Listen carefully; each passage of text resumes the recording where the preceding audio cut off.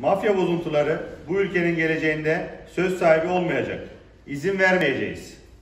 Cumhuriyet Halk Partisi, Türkiye Cumhuriyeti'nin bütün yurttaşlarının huzur ve barış içinde yaşamasının sigortasıdır.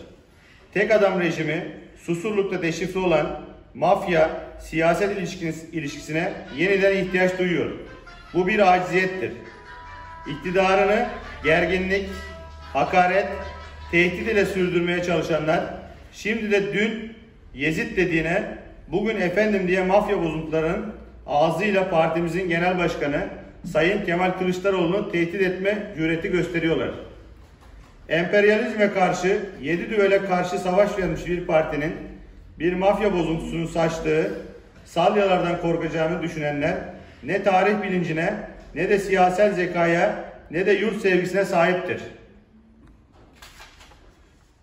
Cumhuriyet Halk Partisi mevcut ma- mafya düzeninin son verecek kararlılığa, iradeye ve cesarete sahiptir.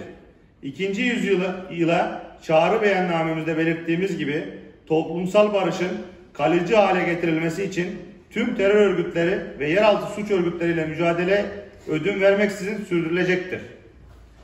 Hukuk devleti anlayışını dinamitleyen bu aciziyet gösterilerine karşı Cumhuriyet savcılarını göreve çağırıyoruz. Sayın Genel Başkanımız Kemal Kılıçdaroğlu onurumuzdur. Dahili ve harici behbatlarımız olursa gözümüzü budaktan sakınmayacağımızı herkes bilmelidir.